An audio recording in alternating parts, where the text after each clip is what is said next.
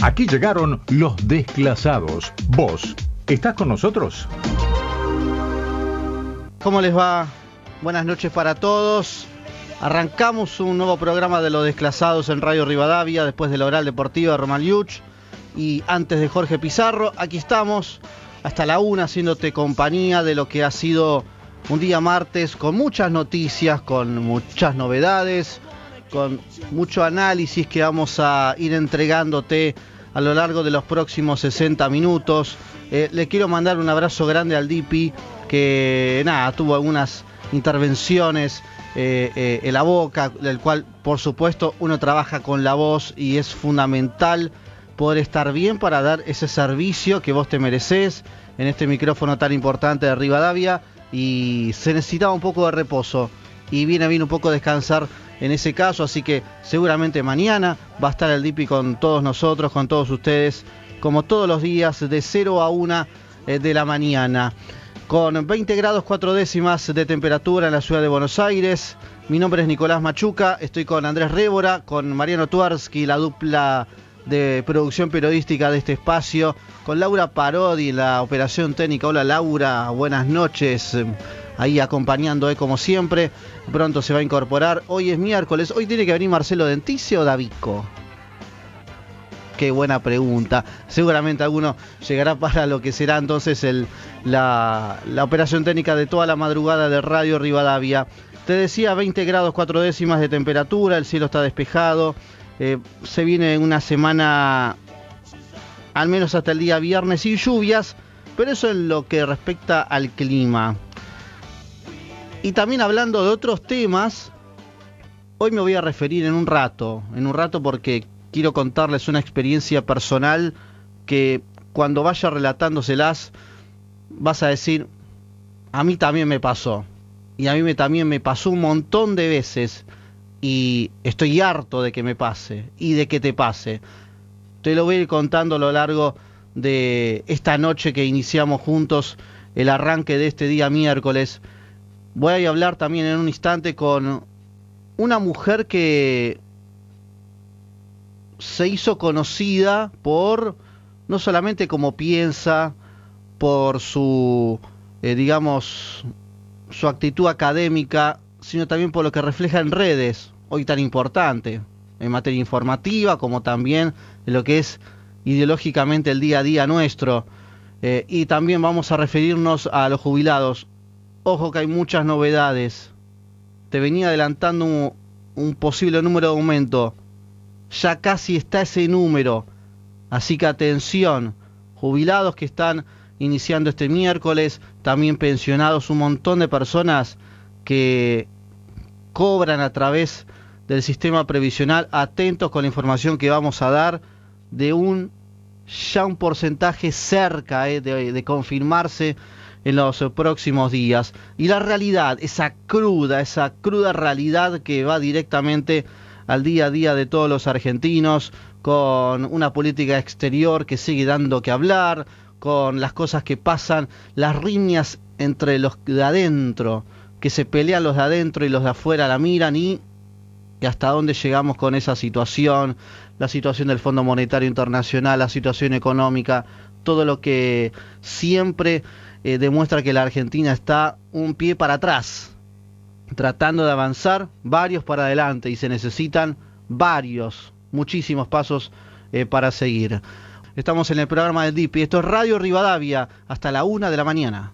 Y claro, tu activa participación siempre es, estará presente en este espacio al 11 50 26 8630. Son los números de comunicación directa de Radio Rivadavia, el WhatsApp Dígame 630 11 50 26 8630. Ya quiero que dejes tu mensaje de voz, también de texto, que lo iremos compartiendo a lo largo de estos 50 minutos que tenemos hasta que llegue Jorge Pizarro a la una de la mañana. Eh, te anticipé que íbamos a hablar con una protagonista que cuando comenzó a idealizarse todos sus comentarios me llamaba poderosamente la atención y a muchos, tales así que creo, eh, y ahora se lo voy a preguntar con toda la humildad posible. Creo que en redes es de las mujeres más influyentes de los últimos meses en la República Argentina. Ella es Diana Mondino, economista de la Universidad del SEMA. Mirá si es economista, cuántas cosas tenemos que hablar. Pero no solamente de lo que se refiere a la inflación, al bolsillo, sino a una realidad en la cual la Argentina respira economía permanentemente y necesita a veces una máscara de oxígeno porque se queda sin aire y parece que repunta y cae, una situación cíclica de hace ya tantos años. Hola Diana, buenas noches. Soy Nicolás Machuca en Radio Rivadavia en el programa del DIP y los Desclasados. ¿Cómo estás? Gracias por atenderme. ¿Qué tal, Nicolás? ¿Cómo vas? Buenas noches, buenos días, no sé qué se dice ahora. Es verdad, es verdad, justo cuando marca la cero uno puede llegar a decir buenas noches para aquel que todavía sigue de largo o buen día para, por ejemplo, muchos que ingresan a laburar o que están comenzando el día para trabajar en algunas horas. Todo, todo vale, todo vale. Eh, Diana, te quería preguntar al principio, eh, habrás escuchado la introducción. ¿Vos te sentís de las mujeres más influyentes, al menos en redes sociales, en los últimos tiempos? No, para nada, y en todo caso ser influyente en redes sociales, pero a mi familia no consigo que me hagan caso la primera vez. Como toda mamá que le decía a los chicos, dale, hace caso la primera vez, bueno, ahí estamos. Así que, no, no, no, es un... Y, uso nada más que Twitter, no uso Facebook ni Instagram, así que eh, a lo sumo será en ese pequeño mundo que, le, que le divierte Twitter. eh, a ver, Diana, quiero hablar varios temas con vos. Primero, eh, por supuesto, de tu especialidad, porque la parte económica tiene por un lado una de las patas, si no es la principal, del acuerdo, el no acuerdo, el acercamiento del Fondo Monetario Internacional, la deuda que hay que comenzar a pagar, eh, y esa deuda que ya se está comenzando a pagar, ¿cuáles son las consecuencias serias? Porque, digo, si en tu casa gastás más de lo que tenés y vas a un prestamista, para pagar doble, ¿qué te queda para el día a día? Mira, exactamente eso. En la casa, en una empresa, en cualquier lado, si estás gastando de más, tenés un problema. Pero además, eh, después de tantos años, en Argentina estamos convencidos que el Fondo Monetario es malvado, viene una capa negra y dientes a chuparte la sangre, y en realidad es el acreedor más barato en el mundo. Los países cuando están en problemas van al fondo, de hecho, el fondo no le presta a países que están andando bien, porque los países que andan bien consiguen que otros le presten. Y el fondo te presta barato porque te pone una cosa que se llaman condicionalidades. Te dice, mira, tendrías que hacer esto, lo otro, lo demás allá para poder organizarte. Esas condicionalidades obviamente a nadie le gustan, que le digan lo que tiene que hacer, y en realidad no son necesariamente impuestas por el fondo, sino que se negocian con el gobierno. De hecho, es lo que está haciendo Guzmán, que viene negociando hace dos años. Así que, a ver, en toda deuda, si no la pagas, y nadie más te vuelve a prestar. Porque si no la pagaste, el tipo no le, no le cumpliste al tipo que te prestó antes, y el próximo que te quiera prestar tiene que ser muy valiente. Diana, y por lo tanto te pone una tasa horrible, muy alta. Eh, ayer se realizó una marcha que realmente complicó a todo el mundo, eh, de grupos de izquierda, sobre todo el polo obrero, eh, del cual realizó un masivo corte en el epicentro de la ciudad de Buenos Aires en contra del FMI. Estos grupos de izquierda que pueden llegar a estar orientados históricamente al comunismo. Eh, ¿Qué opinión te merece sobre esta cuestión en contra de una marcha masiva? ¿Qué crees que piden eh, a raíz de todo esto? Yo creo que es que no se entiende bien esto, ¿no? Eh, no importa si una marcha o simplemente un señor que dijera algo. Si vos, repito, si no le pagas al que ya te prestó, nadie te vuelve a prestar. Y además enojarte con el fondo. Mira, la deuda argentina es 340 y pico mil millones y al fondo le debemos 44. Mm. Quiere decir que a los de antes ya debíamos 300 mil millones. Entonces, bueno, ok, no le pagues al fondo estos 44. ¿Y los otros 300 qué hacemos? Y ojo que la gran parte de esos 300 es deuda con argentinos, ¿no? Y cuando digo argentinos, el principal acreedor es el ANSES. Sí. A ver, ¿no le vas a pagar al ANSES? Entonces, ¿qué se hace con las jubilaciones? Hay que tener cuidado con, con las cosas porque queda muy bonito enojarse con el fondo, creer que el fondo se asusta con eso, también me parece una ingenuidad mayúscula. Vos pensás que el fondo, lo que te decía hace un ratito, va a todos los países que ya están en problemas. En ningún lado se los recibe con los brazos abiertos, siempre el partido de la oposición se va a enojar con lo que haga el que esté gobernando, siempre va a haber uno que le echa la culpa al de antes y al que vendrá. Entonces, bueno, eh, es, es un verdadero problema que no reconozcas que tenés un problema. Estás gastando de más y tenés que solucionarlo. Eh, y el otro problema es que si haces una marcha y nadie puede trabajar, bueno, si nadie trabaja, nadie genera nadie genera guita. O sea, no, no, la peluquera que no pudo llegar a su trabajo, mm. ese día no cobró o no tuvo propinas. El mozo lo mismo, o nadie fue a la pizzería porque no podía llegar. Entonces todo eso hace que la economía ese día se haya achicado, con lo cual es más difícil todavía pagar. ¿La inflación estará alrededor del 4%, un poquito más? Ah, es muy difícil de saber, porque la inflación, mira, vos y yo vamos al supermercado y ves precios que parece que se dispararon, o recibís la boleta de, del impuesto municipal y te querés morir, ¿verdad? O del impuesto de renta, según la provincia donde vivas. Y, pero hay al mismo tiempo un montón de precios que están casi congelados, mm. ¿no? O que tienen muy mucho problema para subir. Los otros días nos asustamos con que la nafta había subido 9%, pero en, durante todo el año 2021 eh, prácticamente no subió. Entonces, la inflación es un, promedio de muchos precios, de los cuales un montón están este, con un, digamos, con un palo arriba de la cabeza que el gobierno no permite que suba. Entonces, el promedio te da ese 4, pero según lo que vos consumas, si consumís mucho de los precios congelados, eh, la verdad que tenés casi nada de inflación. Si consumís mucho de los productos cuyo precio no está congelado, y tenés un verdadero un verdadero escalón mucho más alto que 4%. Otra de las situaciones otra de las situaciones Diana que me llamaba la atención es que Roberto Feletti, el secretario de Comercio, eh, casi que fuera de micrófono, off the record, eh, sin cassette, ponerle el título que quieras, eh, casi que se sincerizó al decir que los precios cuidados fracasaron. Y ante esto y una política económica que no avanza con una inflación del 51% ya, eh, hay ineficacia, hay inexpertos, hay mm, algo más respecto a el tratado de la política argentina con la economía. ¿Cómo podemos graficar esa situación? Porque parece que es fácil eh, mencionar que algo malo está pasando, pero es muy difícil corregirlo. A ver, el control de precios nunca funcionó. Hay un libro muy simpático, muy cortito, que se llama 4.000 años de historia de control de la inflación, en donde muestra infinita cantidad de casos enormes de, de, de, de Grecia, de los egipcios, de un montón de países que han intentado poner precios máximos o precios controlados o precios cuidados, le ponemos nosotros, que nunca, nunca, nunca funcionaron. Mm.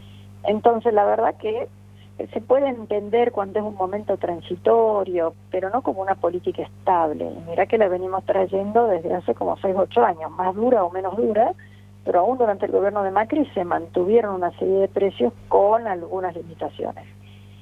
Y es un sistema que no sirve. Lo que pasa es que políticamente mucha gente dice, gobierno, haga algo con la inflación. Y lo que le tiene que decir es, no es haga algo con la inflación, haga algo con el gasto público. Eso es lo que tendríamos que pedir, ¿no? entonces el gobierno dice, bueno, para que parezca que haga algo con la inflación, pongo límites de precio, controles, castigo a las empresas, las obligo a producir lo que no querrían producir.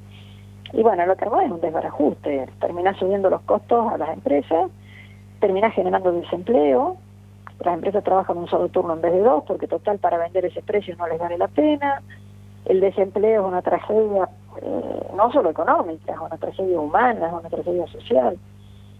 Y, bueno, así que me encanta que lo haya dicho, lamento que lo haya dicho dos años tarde, pero bueno, por lo menos le cayó la ficha. Eh, también la parte económica tiene mucho que ver con el día a día, por ejemplo, monotributistas. Eh, ya la FIP empieza a dejar de torcer el brazo, a poner dura la mano, a decir, bueno, todos los que tienen deudas, comiencen a pagarlas. Ahora la FIP pone bajo la lupa las billeteras virtuales, o sea, es embargar para cobrar deudas. ¿Se está viniendo eso como el cepo al dólar, como el cepo a las cuotas en el turismo? ¿Se viene también algo más eh, duro en cuanto a los que tributan, a, los que tienen alguna deuda y ya no las van a condonar más? Mira, no lo sé, no me sorprendería que la FIP fuera más exigente con las leyes que hay. Y ahí yo tengo un problema. Eh, la verdad que la situación fiscal impositiva que tenemos es es muy, muy, muy gravosa para los que pagan impuestos. Entonces, realmente deberíamos cambiar, el tema no es bajar impuestos solamente, es cambiar la forma en que se cobran los impuestos. Porque hay muchas retenciones, hay cosas que tenés que pagar antes de que vos mismo como proveedor hayas conseguido cobrar. O sea que si tenés un incobrable, el IVA de esa factura del incobrable solamente la podés ir absorbiendo más adelante, pero no la podés recuperar. Bueno, es muy complejo el sistema impositivo nuestro. Hmm. Pero dicho esto, que a mí no me gusta nada el sistema impositivo, ni el tipo de impuestos, ni las tasas que se cobran, y la verdad que todos deberíamos pagar por igual. Entonces ahí el, evasor y pone un problema. Lo que a mí me da mucho fastidio, aunque creo que todos tenemos que pagar por igual, es que a algunos no se les cobra por igual. Grandes evasores que hay algunos nombres que ya son hasta famosos, que ellos de alguna manera logran logran justamente evadir. Eso no no no está bien. O sea, eh, la ACIP necesita recaudar para pagar gastos, ok, pero los impuestos tendrían que ser muchísimo más razonables, más fáciles de pagar. ¿Viste lo, lo endiablado que es hacer un trámite? Y, eh, y que los que son grandes evasores no tengan la cantidad de, no sé, de permisos de condescendencia, de, de agujeritos, de gruyer por el cual se escapan. Eso es muy grave. O sea, las grandes evasiones que hemos conocido por los diarios en Argentina no han tenido ningún tipo de, de castigo económico, o sea, se pagan en 90 cuotas, 91 cuotas, creo que le dieron a uno de los últimos casos. Y el señor que es monotributista que debe dos mil pesos, a lo mejor le embargan la cuenta. ahí, hay una inequidad muy, muy fea. Exactamente, coincido en eso, sobre todo en la falta de equidad eh, en ese aspecto, también como un montón de cosas más que involucran a, a, las principales autoridades. Eh, Diana, te quiero hacer las dos últimas y me llama la atención y quiero que también compartas tu opinión de la política exterior argentina. ¿Qué opinas sobre las actitudes, las declaraciones del canciller Cafiero, de los distintos embajadores, y digo, desde Capitanich dándose la mano con el dictador Ortega, eh, con Cristina adorando a Castro, la presidenta también de la dictadura de Honduras, con lo que es la opulencia en Venezuela, con lo que es los viajes a Cuba, los viajes a Barbados en el Caribe, dudoso, de dudosa procedencia y también por qué sucede eso, eh, ahora con China. ¿por qué la política exterior se está relacionando tanto con quienes no quieren relacionarse, con los países más dictadores? A ver, acá tenemos dos problemas, no solamente que es con países que, digamos, no tienen ningún tipo de respeto por la democracia ni los derechos humanos, muchos de los casos que mencionaste, pero el otro problema es la percepción o creer que hay otro país que te puede ayudar. Ojo, también diría lo mismo si me dijera Suiza, Suecia, Francia, Alemania o Estados Unidos. ¿eh? O sea, el creer que es otro el que te tiene que dar una mano, otro el que te tiene que ayudar en la votación, en las Naciones Unidas o donde sea, en vez de que el país con sus propios recursos trate de generar más exportaciones, que trate de educar mejor a su gente, etcétera. O sea, no solamente que te quieres hacer amigo del matón del barrio. El problema es que, ¿qué es lo que le pedís? Y, y eso es un concepto extremadamente antiguo. Podía ser útil durante las, eh, digamos, cuando se estaba la Guerra Fría, hasta fines de los 80, pero el mundo está totalmente globalizado. El nivel de comercio exterior ha multiplicado con creces con lo que había hace 30 o 50 años. Y entonces se está aplicando una, una política de, a ver, eh, lo que se llamaba el eje en la Segunda Guerra Mundial Eran, entonces, estos países eh, piensan así, entonces todos los que no piensan así se van a la guerra del otro lado, ¿no? La, el, el, eje de los aliados, por ejemplo. Y en eh, la Primera Guerra Mundial también fue de esa forma, entonces estaban distintos, Boca River. Y el mundo no es Boca River, el mundo es interdependiente, el mundo requiere comercio. Y desperdiciamos esas oportunidades. O sea, es un concepto muy antiguo y encima te juntás con el tipo que va perdiendo 5 a 0. Diana, gracias por estos minutos, eh, muy claro como siempre, y nos estaremos comunicando brevemente, ojalá para dar un mejor panorama. Eh, gracias. Gracias a ustedes, nos vemos. Chao, chao. Diana Mondino, economista eh, de esta cruda realidad argentina, de la inflación, del acuerdo con el FMI, de cómo nos ven afuera y cómo actuamos en el exterior. 21 grados la temperatura, quiero que te sigas comunicando mientras al 11 50 26 86 30, ese WhatsApp de Radio Rivadavia y nosotros somos los desclasados, con la cruda realidad argentina hasta la una.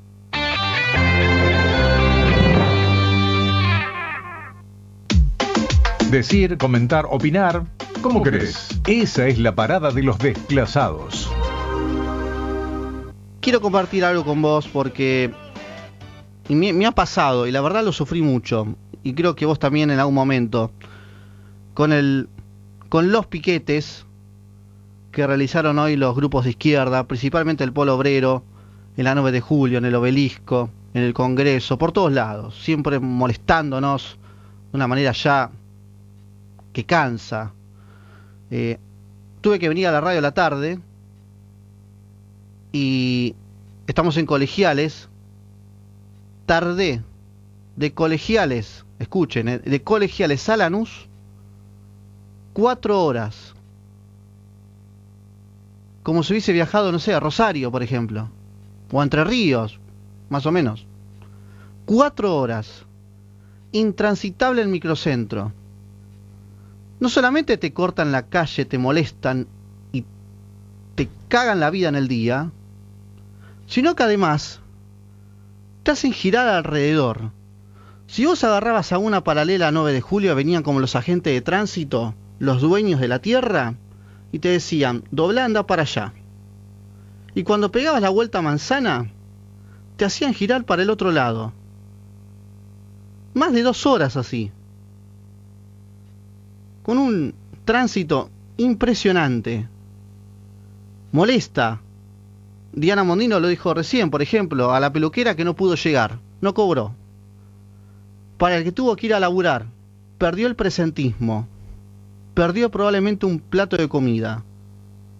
O aquel que terminó de trabajar, agobiado porque se tiene que romper el lomo y mucho más, porque cobra dos mangos, y se tuvo que bancar esto. A miles de personas que, quienes cortan la calle de, esta manera, las considero inservibles para la sociedad, porque cobran planes sociales que son superiores a tu sueldo, miles de personas que molestan la vía pública y que además cada tanto agreden a los que no están de acuerdo y se aprovechan del otro. Tardé cuatro horas. Una locura. En mi caso, prácticamente no pude disfrutar de mi familia, no pude disfrutar, de un descanso, como el laburante que estaba tocando bocina atrás, adelante mío, no pude ir a laburar y tuvo que terminar el día alocado, porque te enferman. Los enfermos que cortan la calle te enferman. Y ojalá, y lo digo públicamente a través de este micrófono que es masivo, ojalá la propuesta de Javier Milei, ojalá lo que ayer le decía al DIPI Ramiro Marra, de hacer una ley antipiquetes, que no sea humo, que no nos mientan, que no nos digan algo en el papel y lo escriban y luego lo tiren por abajo. Porque hoy es el, fue el polo obrero, mañana es otro y pasado es el siguiente. y estamos cansados de que nos molesten la vida. Ojalá esto se ejecute.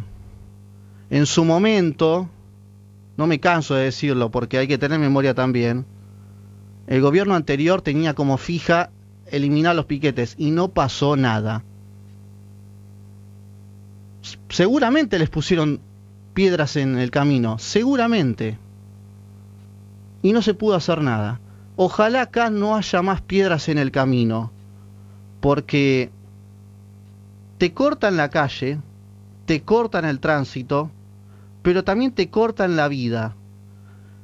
Y si tenés que trabajar y hacer algo más para sobrevivir, si tenés que bancarte todas las noticias que te involucran a tu familia, desde adicciones a las drogas, desde la pésima situación económica, desde todo lo que se informa de que en el exterior parecemos el reír del mundo y que encima querés transitar libremente, decís, es lo único libre que puedo tener, transitar por mi querida Buenos Aires, y no podés. ¿Qué más nos queda? Esa libertad de transitar como quiera, y que además domine nuestros tiempos. Es enfermizo. Lo lamento muchísimo para miles, porque sé que fueron miles que perdieron su laburo del día y todo lo que te estuve comentando. Ojalá la, la ley antipiquetes se haga efectiva lo antes posible. ¿Tienen derecho a protestar? Sí. Pero no molestando a todos los demás. Protesta por lo tuyo. Pero no involucres al otro, porque también lo estás molestando. Y lo enfermas. Y la verdad, viajar cuatro horas para hacer 12 kilómetros, una verdadera locura. Veía a la gente que iba caminando, desesperada. Ya no se puede más vivir así. Esto se puede cambiar. Se puede hacer inmediatamente. Háganlo. No nos vendan más cajitas felices. No nos vendan más un papel y ejecuten de una buena vez.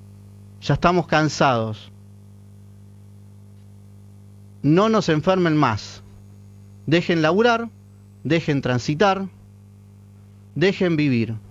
Es lo único, lo único que necesitamos para seguir soportando a la casta política, a los actos de corrupción y a lo que día a día de hace mucho tiempo nos vienen molestando todos de un gobierno y del otro para sobrevivir como podemos.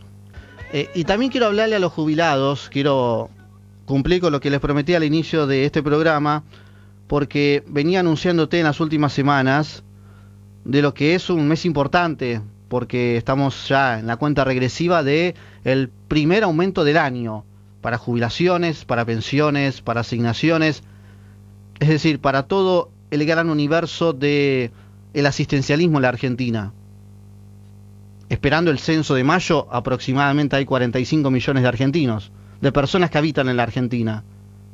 La mitad, 20 millones, pongámosle un poquito más, están cobrando planes sociales y también están retirados y forman parte del sistema previsional lastimado, mal ejecutado y noqueado desde ya mucho tiempo.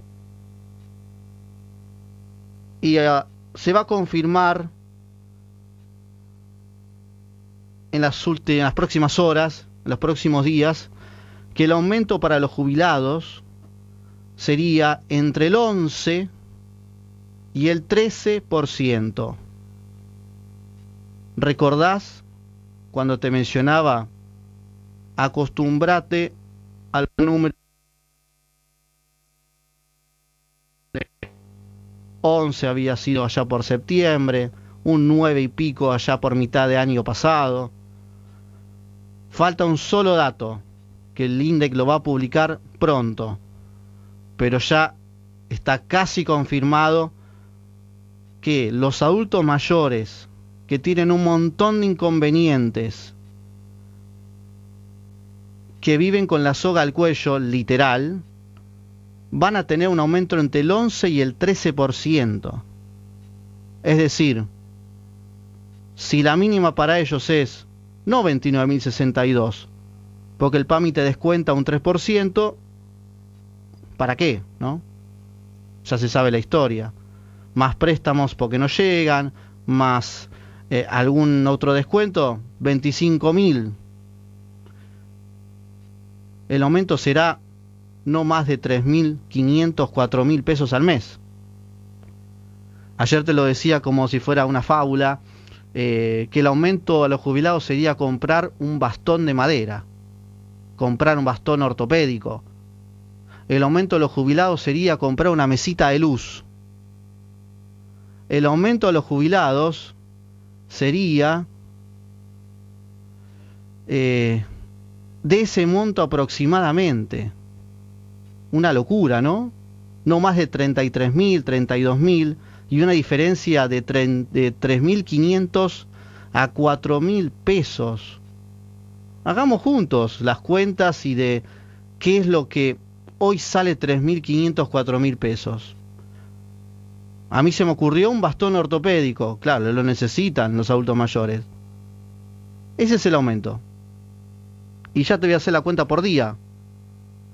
Estamos hablando de promedio 4.000 pesos, vamos a mencionarlo así. Vamos a ser buenos y 4 mil pesos. 130 pesos por día. 130 pesos por día les darían a los jubilados desde marzo hasta junio. Una locura. Así tratan a los jubilados, así tratan y manejan el ANSES. Cuando después sacan de los fondos para pagar millones a las pensiones vitalicias de la vicepresidente y así patean y apelan los juicios pendientes de tantos años.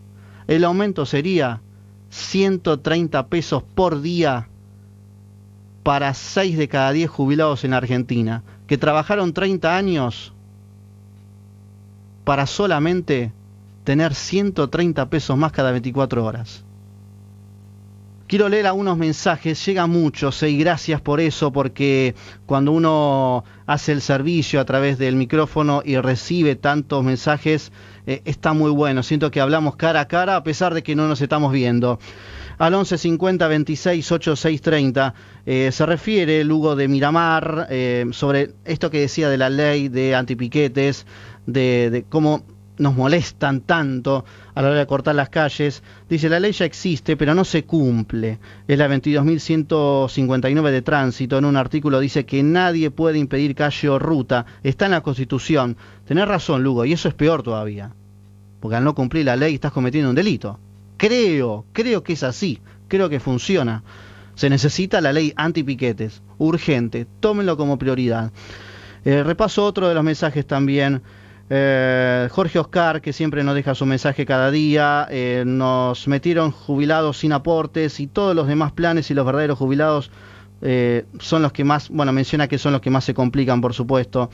es lo que menciona el querido Jorge, a quien le dejamos un abrazo muy grande. Darío Rosario, también, la justicia hace la vista gorda, es un delito, nos deja también su mensaje al 11 50 26 86 30. Eh, Irene también de Cañuelas, que nos deja también su participación en los desclasados. Y recién, recién, mientras estaba hablando sobre el aumento jubilatorio, recibí la seña de Andrés Révora y también el pulgar arriba de Mariano Tuersky, son los hombres que llevan adelante la producción de este programa. Y está muy buena la idea. Tenemos 15 minutos para el final. Y quiero hablar con vos. Quiero que hablemos un face to face radial. Anímate, vamos a hablar de lo que quieras, al jubilado, al que está cansado, al que eh, labura y no llega a fin de mes, al que tiene un estudio y no consigue trabajo y tiene pensado irse del país porque no le queda otra, a todos, a todos los invito a comunicarse al 4010 7242. 4010 7242 quiero que comience en todo el país, eh, a través de las numerosas repetidoras que tiene Radio Rivadavia, a empezar a llamar a este teléfono. Quiero hablar con vos, nos quedan algunos minutitos nada más. 40 10 72 42 es el teléfono, el cual vos llamás, te atendemos y salís en vivo. Porque también la manera de escuchar el reclamo de la gente es importante para saber a dónde está parada la sociedad. A ver si quizás, quizás el mensaje llega a todas las necesidades que tenemos. 40 10 72 42 es el directo de Rivadavia, el WhatsApp 11 50 26 8630, como lo hace Jorgelina de Rosario. Hola Nico, qué indignación el aumento a jubilados, un 11%. Acá en Santa Fe nos aumentan un 60%, eh, el agua, 35% la energía eléctrica. Qué lío que se viene con el tema de los subsidios. La quita de los subsidios a los servicios públicos, qué lío va a traer. Qué lío va a traer y cómo realmente se va a complicar para los bolsillos. Eh, Jimena de Sarandí eh, nos deja también su mensaje. Eh, me gustaría hablar con vos. Dice, bueno, llama al 4010 7242 y hablamos un ratito para lo que es estos minutos finales. soy de Río Gallegos, Silvana este, está también mandando su mensaje. Y ya comenzó a sonar el teléfono de Rivadavia, el 4010 7242. Eh, hola Celia, ¿cómo estás? Celia, ¿estás ahí? Hola, aló. Hola, sí. Hola Celia, ¿cómo va? Bien, muchas gracias, buenas noches, bien, bien. Bueno, eh, contame, de, qué quieres hablar? Yo quiero hablar de la miseria que cobran los jubilados. y que mantenemos los jubilados, mantenemos a los piqueteros.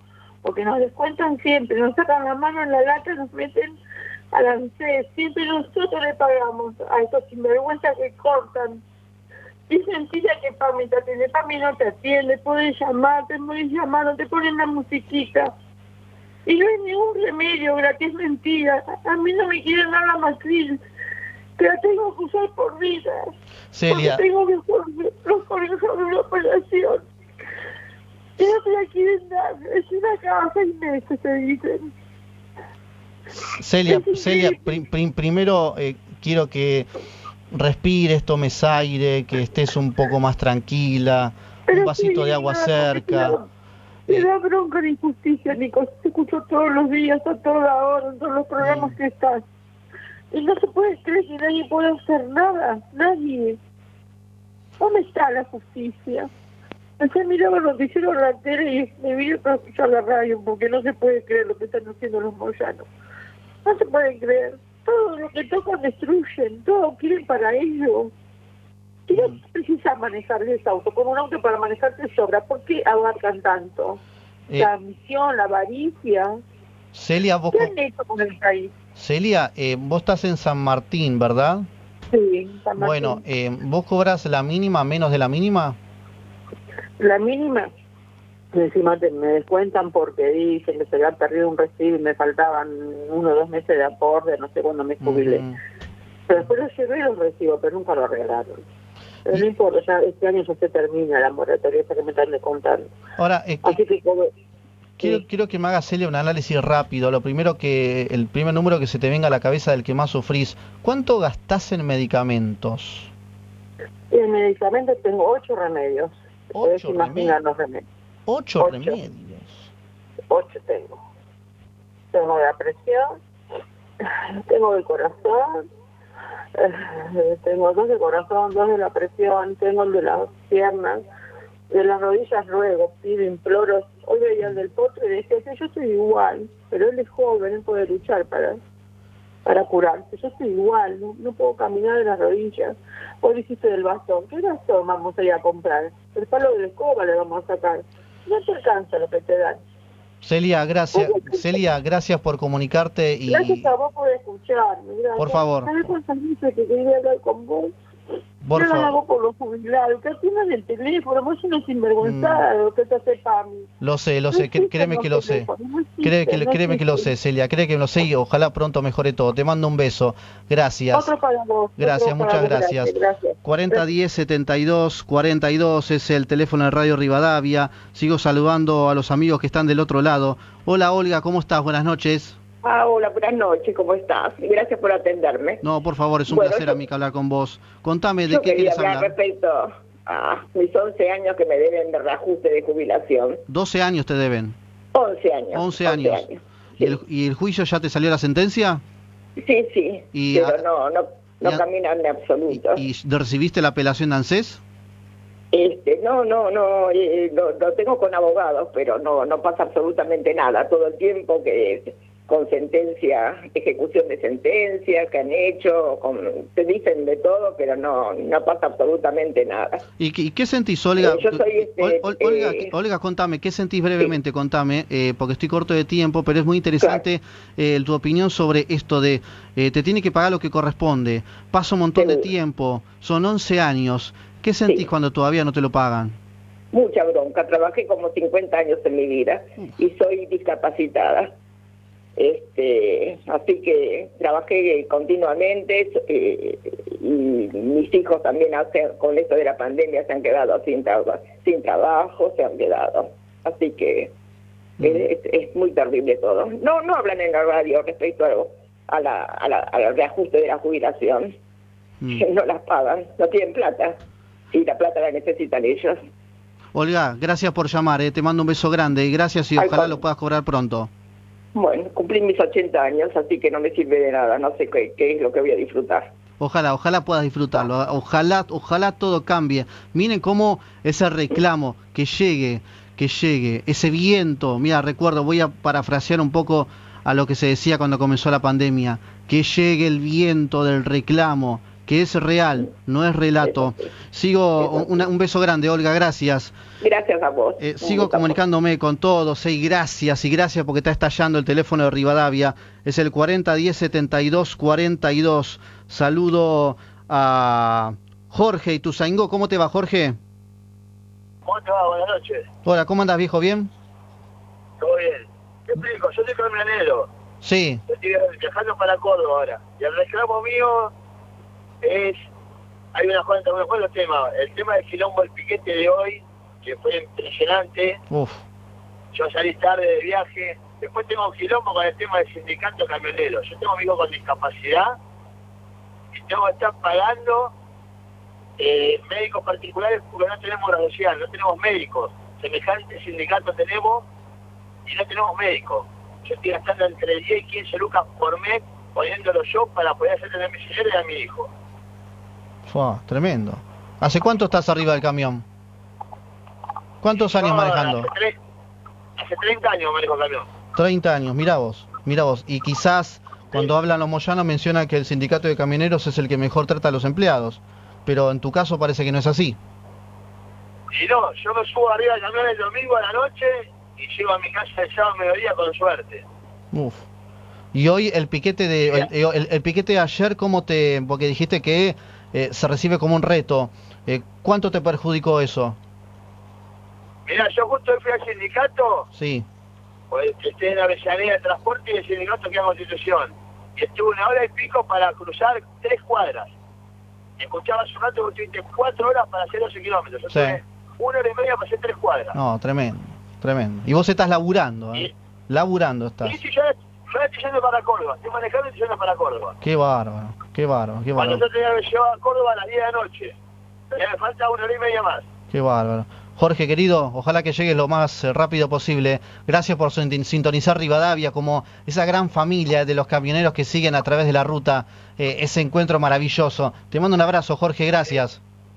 Dale, un abrazo para vos y para todos los oyentes. Por favor, un placer. Faltan cinco minutos para la una de la mañana. Me encanta esto de hablar con la gente de manera permanente al 40 10 72 42, al WhatsApp 11 50 26 8 6 30. Este es el programa del DIPI, los desclasados. Mencionamos la realidad argentina. El DIPI la analiza, por supuesto, con su estilo tan particular, pero también es muy bueno escuchar a la gente que necesita hablar, necesita tener compañía. Y sigo saludándolos en este comienzo de miércoles. Hola, Cristian, ¿cómo estás? Sí, buenas noches, ¿cómo te va? Estoy escuchando el programa y yo estoy en contra del piquete porque el piquete está armado por los comunistas para joder a la gente que trabaja. ¿De dónde sos? Están Cri- regalando plata, Sí. están regalando plata solamente para tener el voto. Va a pasar lo mismo que pasa en Venezuela. Así pasado en Venezuela va- nos va a pasar lo mismo a nosotros los argentinos. Mm, Eh, los piquetes están solamente para perjudicar a la gente que trabaja. Los únicos que se benefician son los gremialistas. Los gremialistas están escondidos. Cristian, eh, te, noto a través de la voz que tenés ya una, unos cuantos años de experiencia. Sí, tengo, tengo 65 años, soy jubilado, pero yo, gracias a Dios, dentro de todo estoy bien de salud. pero de todos modos eso no es una, una aliciente. No, claramente. Yo estoy en contra de los piquetes porque los piquetes en los gobiernos comunistas no existen donde existe en, los, en los, el régimen comunista, lo único que existen es palo, palo y palo, pero de eso no hablan. En cambio, ahora va, salen la policía y, lo reprimen, están los derechos humanos protegiéndole a todos los delincuentes y a los vagos. Estoy en contra de los piquetes, porque los piquetes lo hacen eh, pérsigos, todos millonarios, eh, todos los gremialistas, todo ello, el asunto es joder al que está trabajando. El que trabaja pierde su presentismo, pierde horas de trabajo, horas están viajando. Todo es para perjudicar a los que viven en la capital federal. Cristian, todo lo que hacen, todo lo que hacen, todo lo que van a hacer los piquetes eh. son gente que están arreadas solamente porque le dan plan social, porque les pagan para ir a gritar, para estar, para tirar piedra, para esto y para lo otro. Gracias, Cristian, eh, por, eh, por, por tu reclamo y por compartir este momento con nosotros. Un abrazo, querido. Bueno, buena suerte, buena suerte con el programa. Gracias, muchas gracias. Cuando se necesita hablar es porque algo no está bien. Cuando uno habla de leyes y de derechos es porque algo no está funcionando bien. Mire los reclamos. Con solamente mencionar el teléfono de Rivadavia, el 4010 7242, todos son reclamos, hartazgo, los jubilados que van a recibir una nueva miseria, los piquetes que perjudican al jubilado que ya la vivió un montón de veces y al activo, al que labura. Mira al amigo Jorge que tenía que viajar a Córdoba. Se le va a complicar. Pero parece que no pasa nada, está todo bien. Ojalá, insisto, el proyecto de Milei y Ramiro Marra no porque ellos la hayan presentado solamente, sino porque ojalá sirva de algo para que la sociedad tenga un mimo, ese mimo de estar tranquilos, aunque sea poder transitar libremente, y que todo lo demás, bueno, vaya mejorando, que es el deseo que todos tenemos, a pesar de que siempre tenemos este tipo de noticias que lastiman, que pueden llegar a cansar, pero es el realismo, es la realidad que nos invade día a día. Eh, quiero agradecer a todos, eh, a todos, absolutamente a cada uno que nos dejaron su mensaje, aquellos que llamaron y que decían no me pude comunicar y que quedaron pendientes porque ya estamos en el final. A todos, eh, muchísimas, pero muchísimas gracias. Eh, es hermoso cuando llegamos a todas las partes del país y se hace notar. Esa también es nuestra, es nuestra idea en este espacio de los desclasados.